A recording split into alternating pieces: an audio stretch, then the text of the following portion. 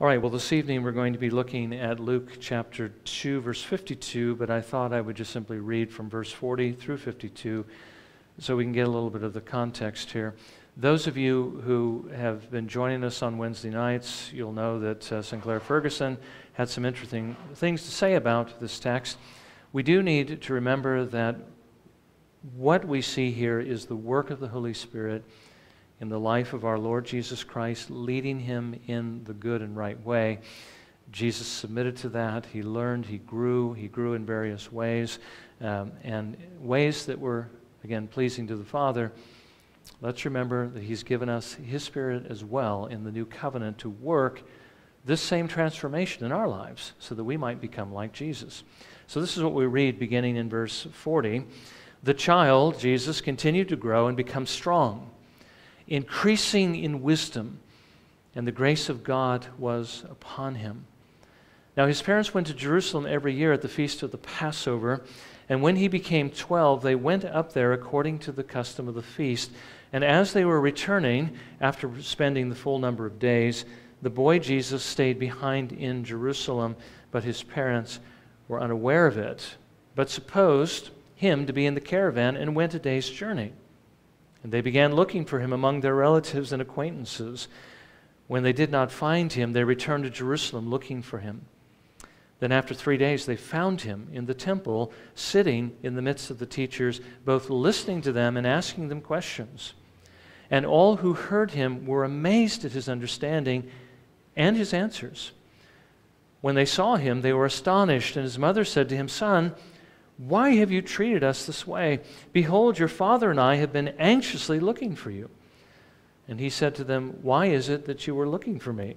Did you not know that I had to be in my father's house? But they did not understand the statement which he had made to them. And he went down with them and came to Nazareth, and he continued in subjection to them. And his mother treasured all these things in her heart. And Jesus kept increasing in wisdom and stature and in favor with God uh, and men. Again, may the Lord bless uh, his word uh, to our edification this evening. Now, I've already told you this evening uh, we are coming to an end, uh, coming to the end of a short series on the Ten Commandments, uh, which we called the Rules of the Christian Race. again, thinking about Eric Liddell and the kind of life that he lived, and of course, everyone who pleased the Lord lived according to these commandments. Now, throughout the series, we've been reviewing the commandments themselves. We did have a couple of, uh, I think, three sermons on basically motivation, but for the most part, we've been looking at what the commandments teach us regarding how we might love God and how we might love our neighbor. But what I'd like to do this evening is to focus on the motivations uh, behind why we are to do this. I'd like to take just a few moments to review the reasons that we should keep them that we've seen thus far, and then look at one more as we close off this series. Now, the first and most obvious reason we should keep these commandments is because this is what our Lord actually calls us to do. This is His commandment. He has authority to tell us what to do. And of course, that's enough by itself. We've also seen in the new covenant that He gives us the power to do it. Now, one of the things that we looked at first off was to uh, look at the evidence that the Ten Commandments are not just for the Old Covenant, but they're basically God's will, His, His moral standard for us in whatever epoch of redemptive history that we happen to be in. We do believe that the Lord wrote these commandments on Adam's heart and gave him the power to keep them. Uh, we believe that, of course, when the Lord uh, gave his commandments on Mount Sinai, he was simply writing in stone or codifying what the people of God already knew. And of course, in the New Covenant, we see that Jesus did not come to abolish the law or the prophets, but rather he came to fulfill and to write these laws upon our hearts. Basically, Matthew chapter 5, verses 17 through 20. Jesus says, do not think that I came to abolish the law or the prophets. I did not come to abolish, but to fulfill. For truly I say to you, until heaven and earth pass away, not the smallest letter or stroke shall pass from the law until all is accomplished. Whoever then annuls one of the least of these commandments and teaches others to do the same shall be called least in the kingdom of heaven. But whoever keeps and teaches them, he shall be called great in the kingdom of heaven. For I say to you that unless your righteousness surpasses that of the scribes and Pharisees, you will not enter the kingdom of heaven. Now, Jesus goes on from there to talk about what the, how the scribes and Pharisees viewed the law, how they were mistaken, and how it should be kept.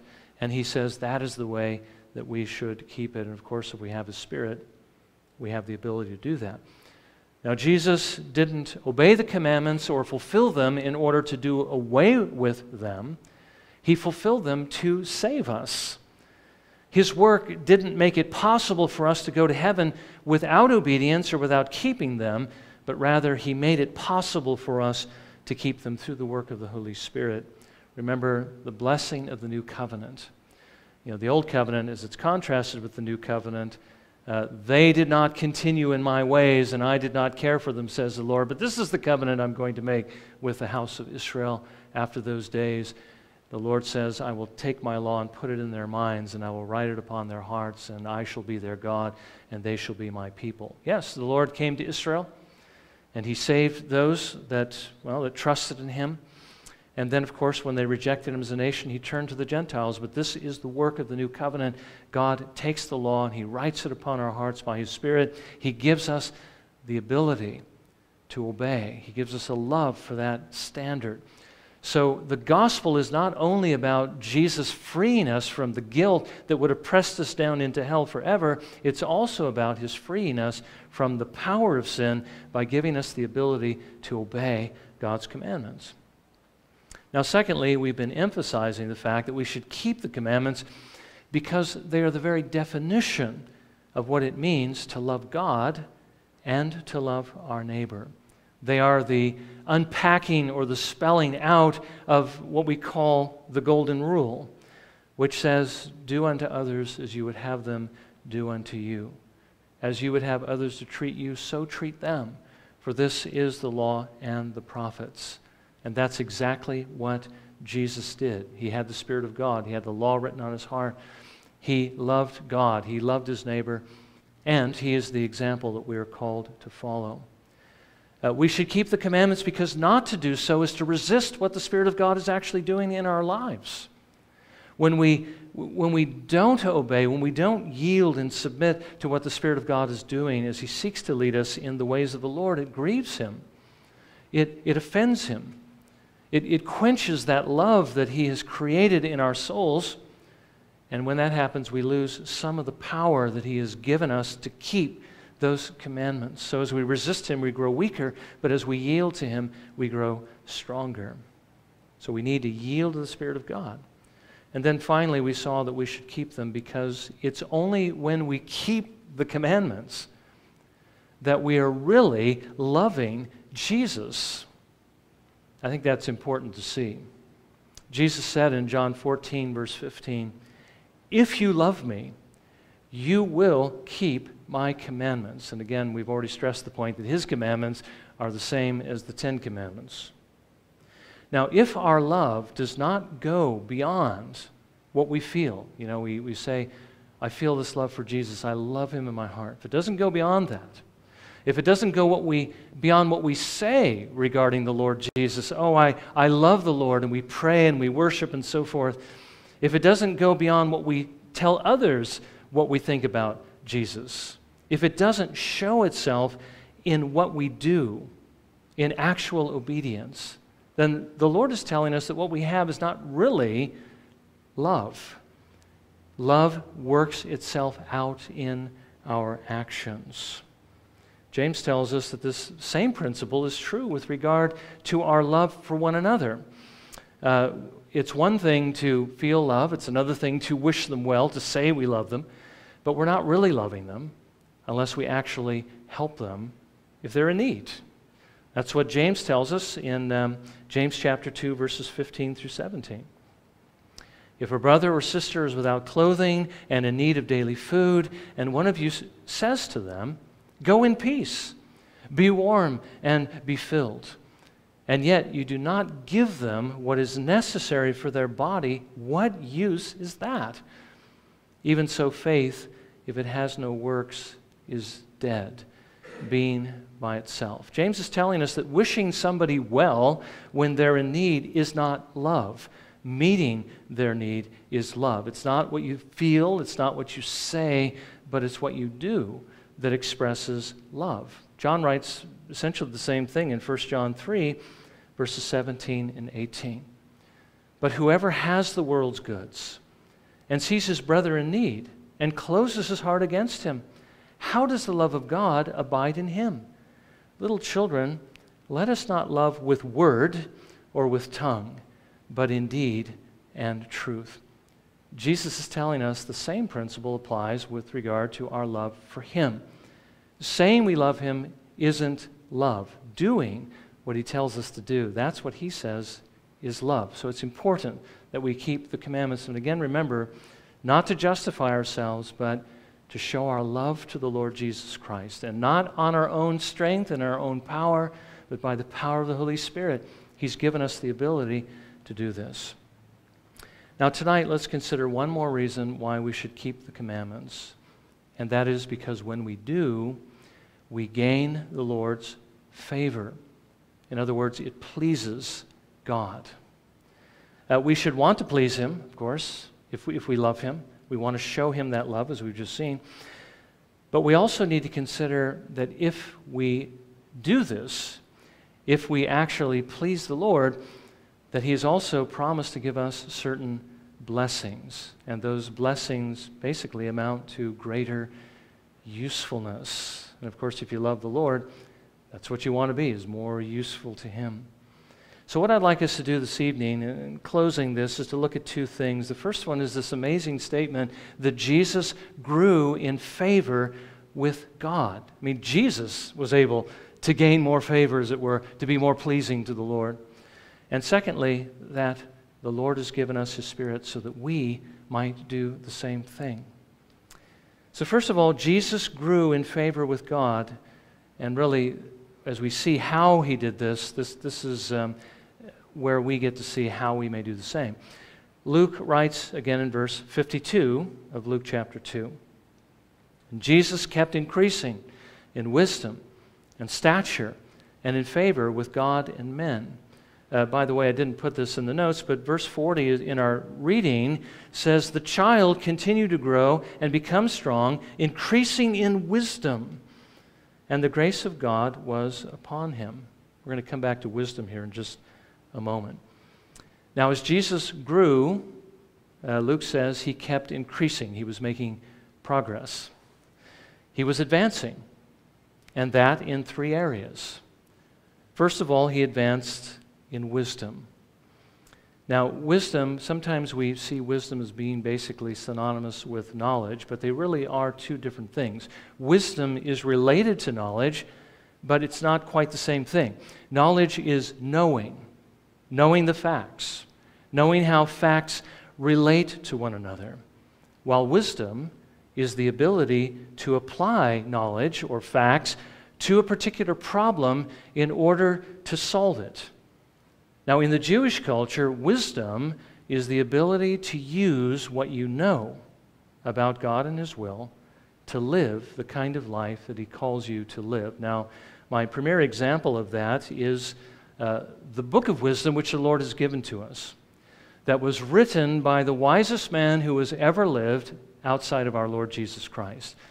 And that is the book of Proverbs.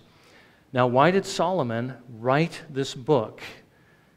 He wrote it to teach us wisdom. But not just you know, wisdom about animals and various types of things, but rather wisdom on how to take the law of God and to apply it to everyday situations so that the decisions we make would be those that are pleasing to the Lord. This is what he tells us in the beginning of the book in Proverbs 1, verses 1 through 7.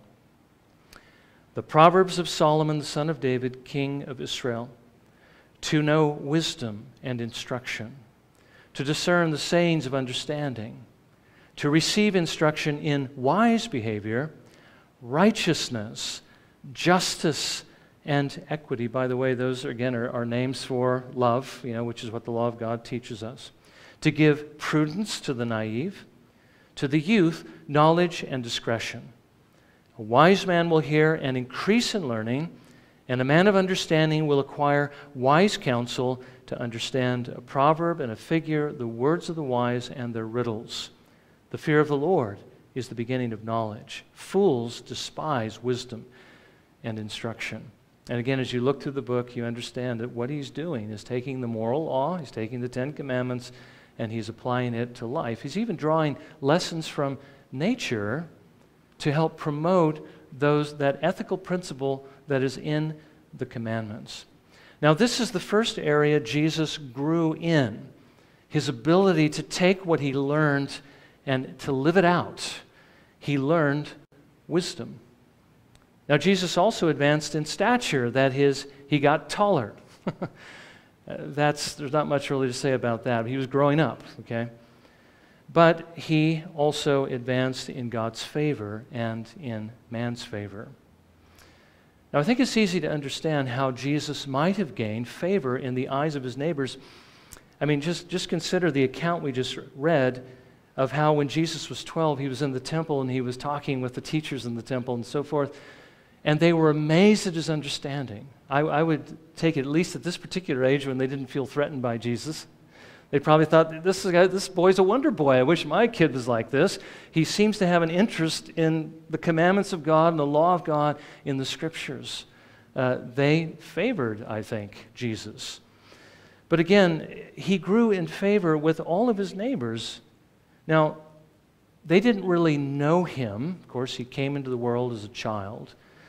And they didn't know what he was going to become like as he was just a child, just like we're not going to know what a child is going to be like until it begins to grow and develop. And as it does, we begin to see uh, his or her character expressed.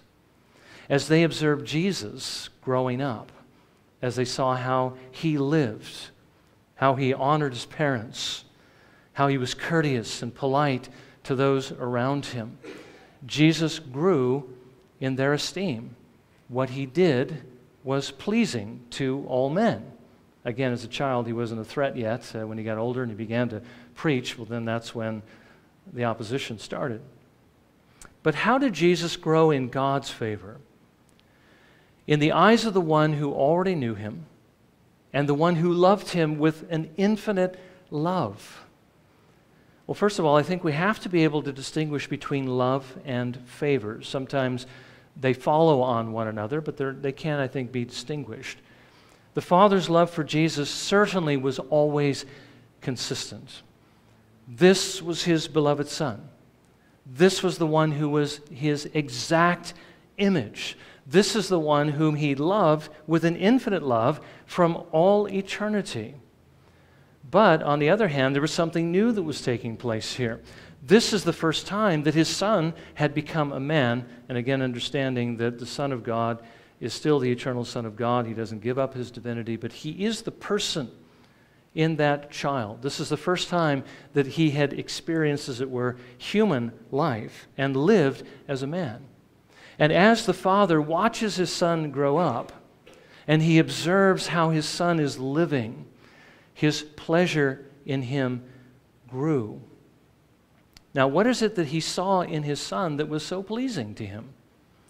Well, it wasn't that Jesus was growing taller. I mean, sometimes we, you know, as parents, we delight in the fact that our children are, getting up, and they certainly delight in the fact that when they put their you know, back against that, uh, you know, that door jamb or whatever it is you're, you're measuring your children, and they get a little bit taller, they get a great deal of delight from that. You know, they want to grow so high.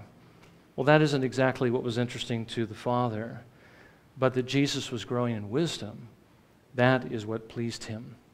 Jesus was listening to what the Father said, and he was seeking uh, to live a life that was honoring to him. Now, I think as parents, we can perhaps appreciate and understand this difference between the two things, between love and between favor. You know, we all love our children. I think sometimes, irrespective of how they live, because they are our children but our pleasure in them varies. as we see them either doing what is right or doing what is wrong. And it's for this reason that sometimes parents can favor one child over another. And we, of course, we need to be careful as parents that we try not to do that, but we know that can happen. But even if we do, it doesn't mean that we love any of them any less because we might favor one more. Now, as the father watched his son, he was pleased with what he saw, and Jesus grew in his favor. Now, why did Jesus give us his Holy Spirit? Well, it was that he might do the same thing for us, and that we might be led to live the same kind of life that Jesus lived, that we might take his commandments, and that we might apply them to our lives so that we too might grow in God's favor, that we might be pleasing to Him. Now, one thing I like for us to, to see here this evening is this, and that is that knowledge isn't enough by itself. It's a means to an end, but it's not the end. Uh, theology is good. I love theology. I love systematic theology. I love, I love to study it. I love to see how it all fits together, what the Bible reveals about God and His plan and all those things, and see how they all fit together. I, love studying that, but that in and of itself is not enough to please God. You can be the greatest theologian on earth and still not be pleasing to the Father if you're not actually applying that theology. And biblical knowledge, uh, make a little bit of a distinction here because some people read the Bible and they, they just take you know, bits and pieces of it, and maybe they don't see the whole picture, how it all fits together, but they still get truth from here, and they, they learn certain things like what God did to save us, what Jesus and the apostles taught, how we are to live. Uh, you learn where to find things in Scripture, but you know what? You can know your Bible inside and out. You can know everything there is to know that God reveals in here, although I have to say that guardedly because nobody really can. But that, in and of itself, is, is not enough to please the Father.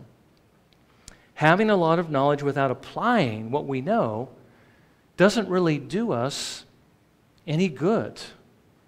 Uh, we read in Luke 13, in verses 23 through 27, an instance where basically there were those who heard what Jesus was teaching, but in the end were going to be rejected because they didn't actually apply it. On one occasion, someone said to him, Lord, are there just a few who are being saved? And he said to them, Strive to enter through the narrow door. For many, I tell you, will seek to enter and will not be able. Once the head of the house gets up and shuts the door, and you begin to stand outside and knock on the door, saying, Lord, open to us, then he will answer and say to you, I do not know where you are from. Then you will begin to say, We ate and drank in your presence, and you taught in our streets. And he will say, I tell you, I do not know where you are from. Depart from me, all you evildoers. It's not enough to hear, it's not enough to know. You need to apply it. They heard, but they didn't apply it. Now, when Jesus says, strive to enter by the narrow door, what he is saying is take what you have learned from the Lord and apply it to your life with a great deal of zeal. You know, do it, what he says. If we don't apply what we know, then what we know isn't going to do us any good. As a matter of fact, if we never apply what we hear, if we never apply anything that we know, it will actually work against us in the end rather than helping us. Uh, Jesus said to his disciples as he sent them out to teach and to preach in Matthew 10, verses 14 and 15 Whoever does not receive you, nor heed your words, as you go out of that house or that city, shake the dust off your feet. Truly I say to you, it will be more tolerable for the land of Sodom and Gomorrah in the day of judgment than for that city. More knowledge can actually work against you. It can mean greater judgment if you don't know the Lord Jesus. Thankfully, that's not going to happen to anyone who is trusted in the Lord. But there'll still be consequences. God will still deal with us as a father deals with children, and He will not let us just continue to do things that are wrong. We need to hear and we need to apply. James tells us this in James 1, verses 22 through 25. but prove yourselves doers of the word, and not merely hearers who delude themselves. For if anyone is a hearer of the word and not a doer, he is like a man who looks at his natural face in a mirror. For once he has looked at himself and gone away, he has immediately forgotten what kind of person he was. But one who looks intently at the perfect law, the law of liberty, and abides by it, not having become a forgetful hearer, but an effectual doer, this man will be blessed in what he does. Not the one who knows but doesn't do, but the one who knows and who does. He will be blessed because in doing this, he will please God and he will gain God's favor. Now, this, I believe, is the key to usefulness in the kingdom of heaven when we can apply what we know to become the kind of person he wants us to be. And this is what the Spirit of God is leading us to do. This is what we will do if we have the Spirit dwelling within us. now, why should we care whether or not we have God's favor? Again, if we divide between love and favor, you know, if God loves me and He saved me in Christ, what, what does it matter whether, you know, I gain, grow in favor with the Lord? Well, I hope you understand that. That sounds like a pretty bad question. We should want above all things to please God because He made us, because He takes care of us, because He saved us. Uh, you know, every Lord's Day morning we have the Lord's table and we remember what, what Jesus has done for us. We should want to please Him above all things, but again, we have the Spirit within us.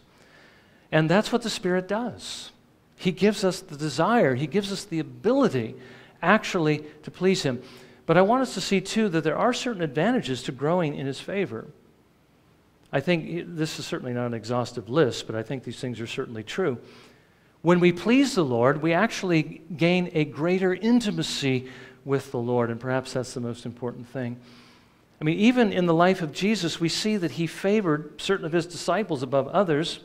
They were admitted to places to see things and experience things that others were not, such as on the Mount of Transfiguration or in the Garden of Gethsemane. Greater usefulness is certainly uh, one of the blessings that would be ours for pleasing the Lord.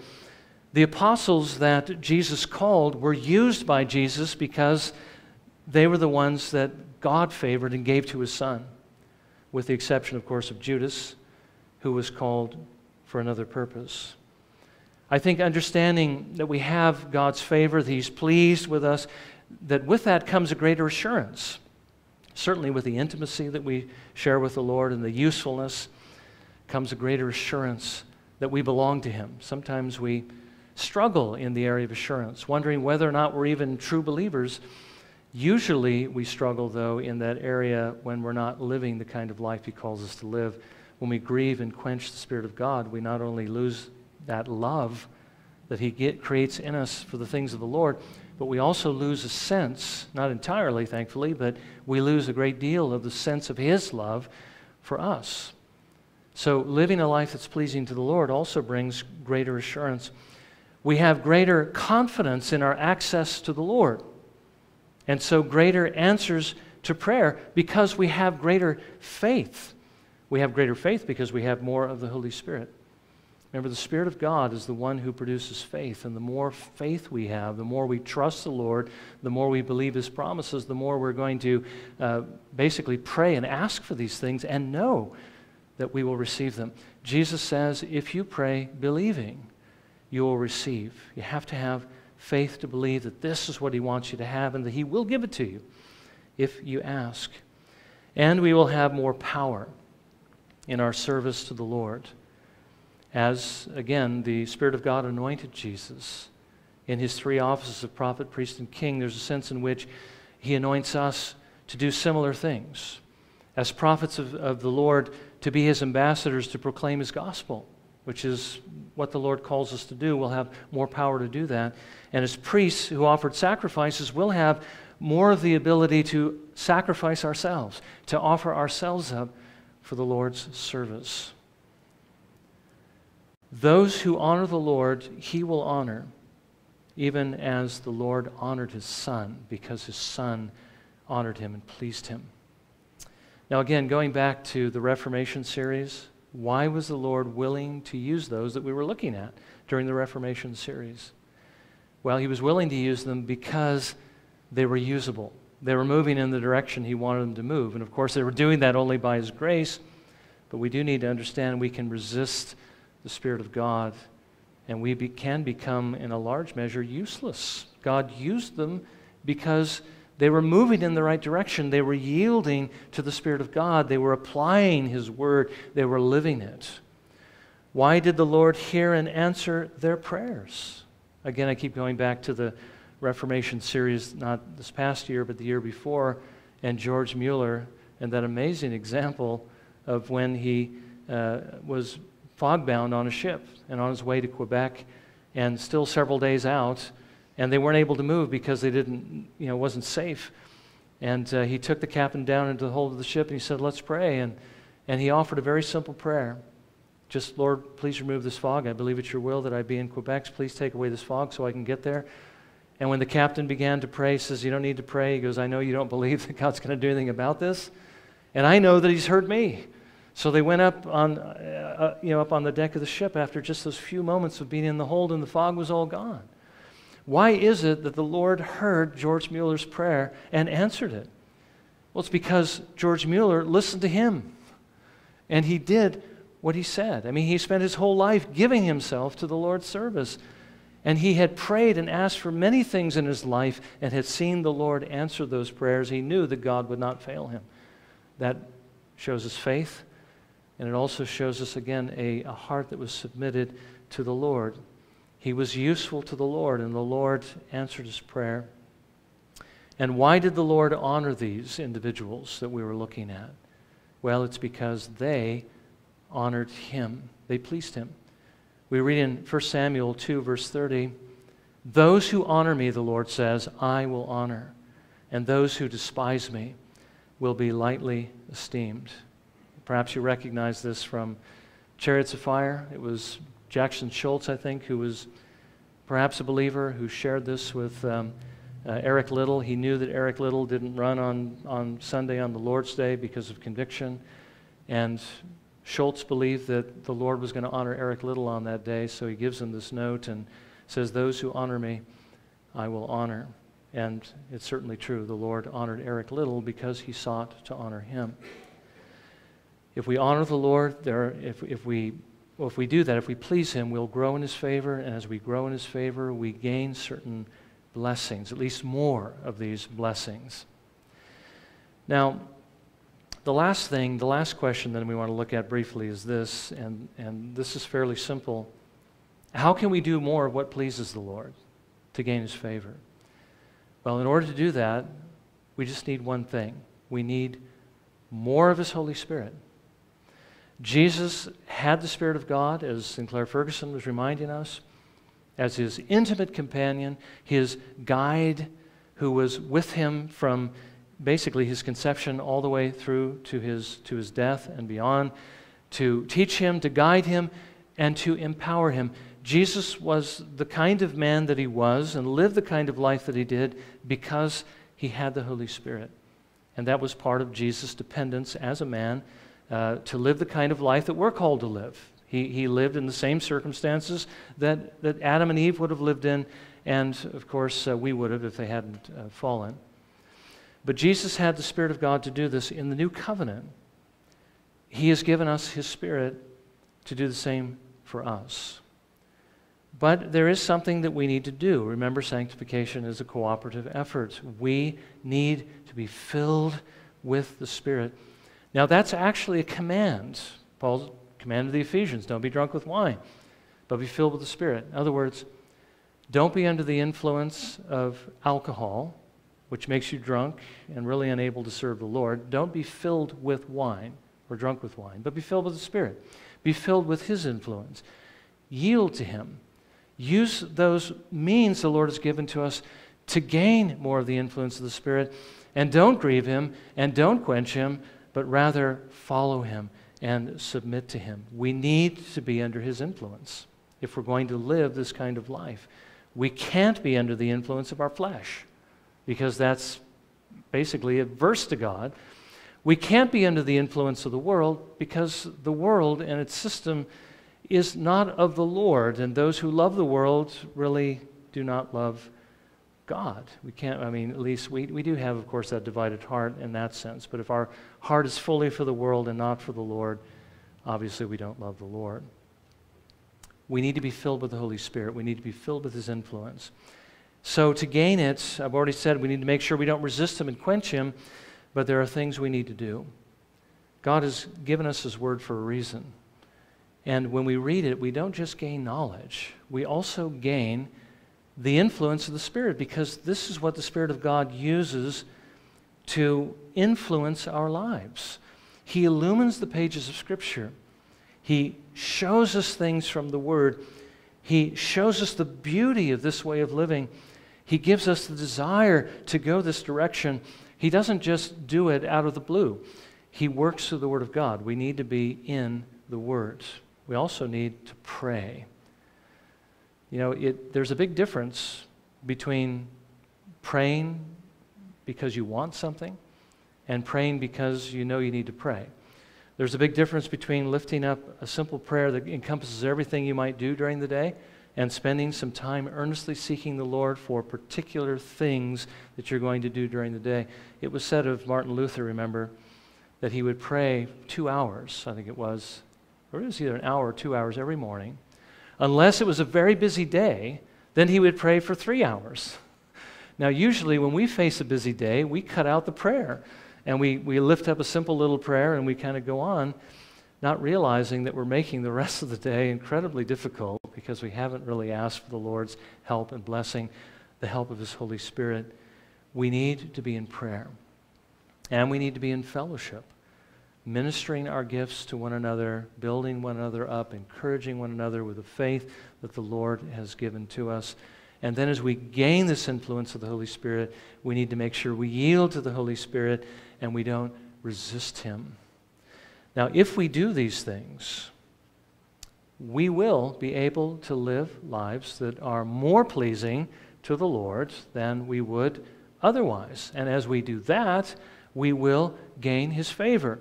And with His favor, we'll also find that He will bless us. He will be pleased to use us more. He will show us greater answers to prayer and He will give us more power in our service to Him. And that, I believe, is what all of us as Christians really desire. So, again, we've seen the standard God would have us to live by. Let's remember how we can keep that and why we should keep that. Where does the power come from? It comes from the Holy Spirit. Why should we do this? Because it pleases the Lord, loves man, loves God.